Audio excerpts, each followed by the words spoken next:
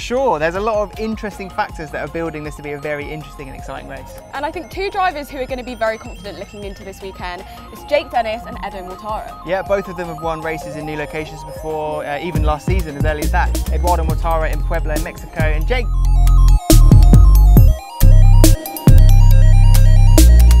Jakarta International Epic Circuit Ancol adalah sirkuit Formula E pertama di Indonesia. Perdana menggelar Formula E. Sirkuit ini banyak menimbulkan kontroversi. Pembangunan sirkuit ini pun digadang-gadang menelan biaya yang tidak sedikit. Alih-alih dimanfaatkan untuk menggelar event lain. Usai menggelar Formula E, sirkuit ini malah menganggur. Pertanyaan baru pun muncul. Selain untuk menggelar Formula E lantas, akan digunakan untuk apa sirkuit ini?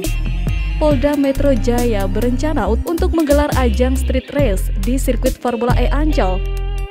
Namun sangat disayangkan ternyata rencana tersebut sepertinya tidak akan terlaksana karena pihak Formula E Ancol tidak menyetujui izin balapan.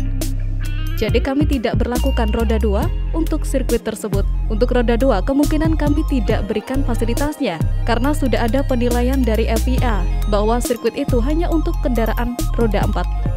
Kata Ketua Panitia Pelaksana Formula E Ahmad Sahroni dalam konferensi pers di Pendopo Balai Kota DKI beberapa waktu yang lalu. Dalam kesempatan itu, Sekjen Ikatan Motor Indonesia, Ahmad Sahroni menjelaskan, jika sirkuit Ancol hanya direkomendasikan untuk balap mobil, bukan balap motor.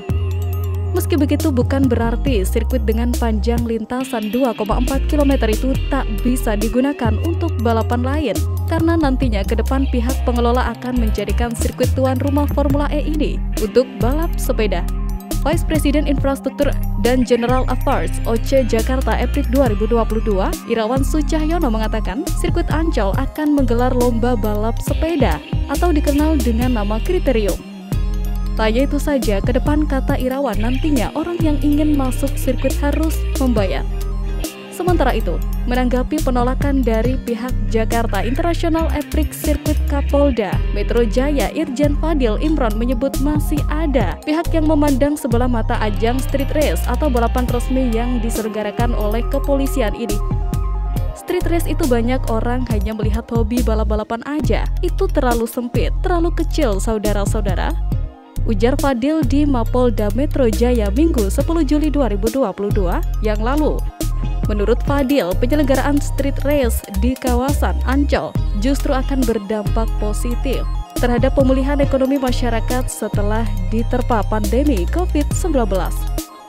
Sebab kata Fadil, kegiatan tersebut akan banyak melibatkan para pelaku usaha mikro kecil dan menengah, pelaku seni hingga ekonomi kreatif. Sebenarnya bagi Ancol, jika dia diizinkan street race itu di Ancol, dia sebenarnya bisa untung. Tapi jika yang berpikiran sempit melihatnya hanya balapan, itu tidak akan sampai ke sana, ungkap Fadil. Menanggapi, Wakil Ketua Dewan Pembina Partai Gerindra ini pun berpandangan bahwa kegiatan itu menjadi salah satu tindakan nyata yang dilakukan Fadil dan jajarannya untuk mengatasi permasalahan masyarakat di DKI Jakarta. Lantas bagaimana kelanjutan nasib sirkuit Formula E Jakarta ini? Menarik untuk dinanti.